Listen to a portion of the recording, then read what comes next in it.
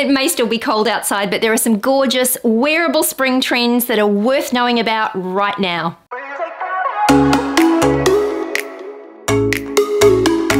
Hi, I'm Leonie and welcome to my channel. Now, I know I haven't gone crazy. I am talking about spring trends because I love to give you guys a little bit of a jump start on the new season. And especially when it's cold and chilly, it's exciting to think about a new season and some warmer weather because really it is just around the corner. But these trends are some of the key looks for the new season, but I've gone through and picked out the most wearable of them all. So I know there's going to be something here for everyone, so I hope you enjoy. Now this first trend is going to really divide you guys, but for anyone that loves skinny jeans, you're gonna love this. So skinny pants are back for spring. Now we've seen so many oversized silhouettes and oversized man style baggy pants. They will still be trending and still very much in fashion, but skinny pants are making a comeback. Personally, I've always loved skinny pants and I do think it's really nice to have a little bit of a change from some of the oversized styles that certainly I've been enjoying. So skinny pants are back in a very major way for spring and they're going to creep through into the cooler months at the end of 2023 as well. So if you love them, then grab yourself a pair. Now, cargo pants have been trending for a couple of seasons now, and what we are going to be seeing in spring is colourful cargo pants. So if you love a relaxed style of pant, expect to see cargos in all sorts of beautiful colours.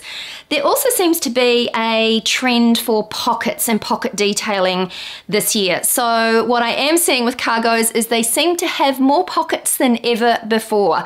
You are not going to know what to do with all of the pockets, but that's okay. They are colourful, they're practical, and really wearable. So if cargo pants are your jam, then spring is the season for you. I've never met a polka dot that I haven't liked, and so that's why I'm really excited that polka dots are popping up all over the place for spring this year. Pardon the pun, but it was kind of fun. Um, so polka dots are here for spring, and they're actually a very versatile print. They're as versatile as say a stripe. It's a very easy way to wear a pattern, but still maintain a sort of a classic timeless look. So if you haven't dipped your toe in polka dots before, then maybe spring is the time to do it. They're a nice change from the classic spring florals as well. So polka dots are here and back in a big way for spring. And at this point, I'd just like to say a very big thank you to the team at Squarespace for sponsoring today's episode.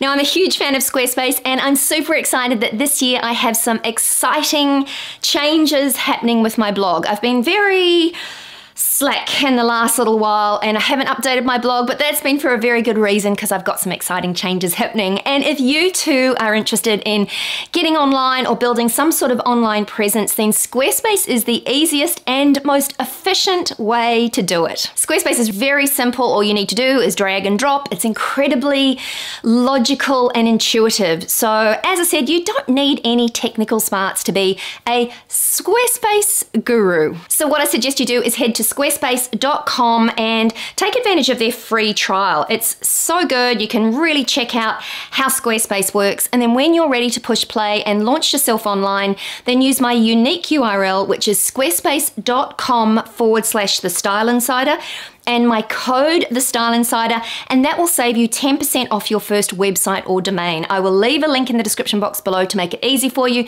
But if you are ready to launch yourself online this year, and I recommend that you do, then Squarespace is the way to do it. Now, if you've ever struggled to squeeze all of your belongings into those tiny little purses that have been trending for the last few years, then you're going to love this next trend for spring, and that is oversized bags.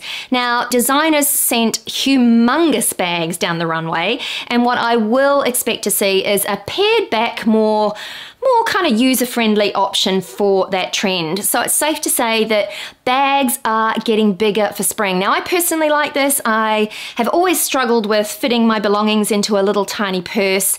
And so there are going to be some large crossbody type bags, some large clutches, and just certainly oversized totes as well. So if you bought into this trend a couple of seasons back, then drag out your oversized bags because you will be bang on trend for spring this year. One of the most gorgeous colors for spring is a beautiful bright sunshine yellow. Now I know yellow is one of those divisive colors because some people feel they can wear it and wear it well and others not so much.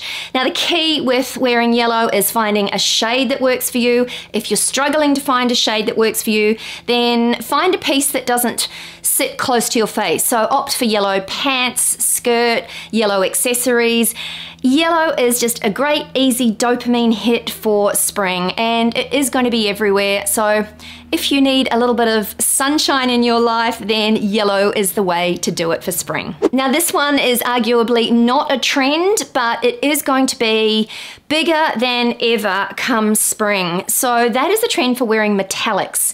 And I personally love metallics. I think if you pull together an outfit and you can't work out what shoes are going to look best with it, a pair of metallic sandals or ankle boots are always going to work. So I definitely consider metallic as being classic timeless pieces that can be worn for years to come. So the great thing about an item or a style being on trend is that there are just more options available. So there are going to be beautiful metallic fabrics and metallic jackets. Uh, in fact, I saw some gorgeous metallic jackets being worn with some cute cargo shorts, some sort of long line below the knee cargo shorts, which I loved. So metallic, think in terms of jackets, shirts, metallic pants, and also accessories, lots of accessories. I am definitely going to buy myself a pair of gold or silver ankle boots. I used to have a pair for years and I don't know what, I probably Marie Kondoed them out of the house at some stage.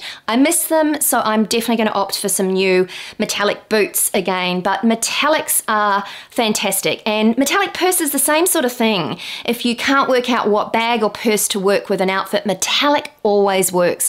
So this is an especially exciting trend for the season. I recently posted a video on denim and jean styles that are trending for 2023. I'll link it up here in a card if you didn't see that one. But the style of jeans that is hip and happening, that makes me sound so old fashioned, but it's hip and happening for spring, is embellished jeans. So, jeans with all sorts of rhinestones and sewn on little applique details and even printed denim jeans as well.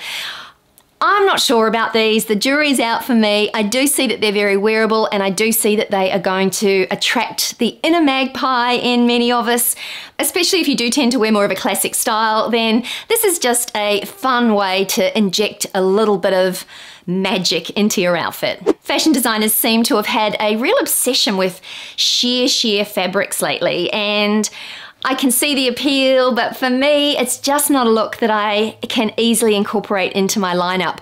But I'm loving what's happening for spring, and that is sheer fabrics, but they are knitted fabrics. So they're a little bit slightly heavier weight and slightly less sheer. So they look great to kind of add a little bit of interest to an outfit, but you're not actually exposing anything. But you can sort of see through them and see that you're perhaps wearing a crop top underneath, a sheer knitted dress or a sheer knitted top or shirt, but you're not actually exposing anything. So I love the fact that these pieces add interest, but they're not going to make you feel, or certainly me, feel too exposed.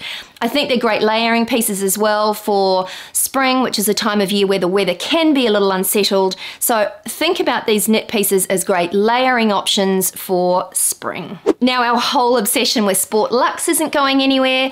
And in fact, what I have been seeing is sweatshirts, which I'm wearing my favorite new sweatshirt from Anine Bing today, but sweatshirts like this being teamed with silky, shimmery spring skirts. So I love this look. I think it's just a very effortless, easy look to pull off and it just enables you to wear some of your sporty style pieces, but just give them that little bit of an elevated, slightly more modern look. And the key to really pulling off this look is making sure that you mix that high-low. So this low sort of sweat, relaxed style with something that's just a little bit more elevated. Today I'm just wearing some leather look pants. They're kind of like a sweat pant in a leather type fabric.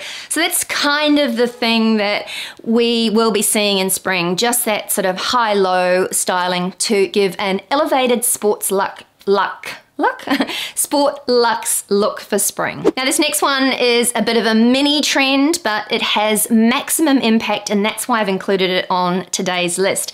And that's the trend for wearing asymmetric lines. Now I haven't called it hemlines because what I have seen are a lot of tops with asymmetric off the shoulder detailing. Now this is actually a, an incredibly flattering style. Certainly asymmetrical skirts and dresses because you can choose where that line hits you. So if you don't like your knees, you can choose an asymmetric skirt that just falls beneath your knee and then across down to your ankles just to give you a little bit of coverage but not sort of swamp you. We've seen lots and lots of maxi skirts and dresses which I am still a huge fan of and they are still happening for spring summer this year. But these asymmetric lines just give you an option of a really flattering outfit and high impact. They also look great as stri with stripes. I've seen a few beautiful asymmetric dresses with striped fabric and they just look amazing. So if you like showing off your shoulders or your arms or you prefer to cover up your legs but you don't want to have too much then these asymmetric styles are really flattering. And if you'd like to have more fun with the clothes that you already own, then click or tap on the screen here for some very simple styling tips and tricks to help you elevate your style. I'll see you there.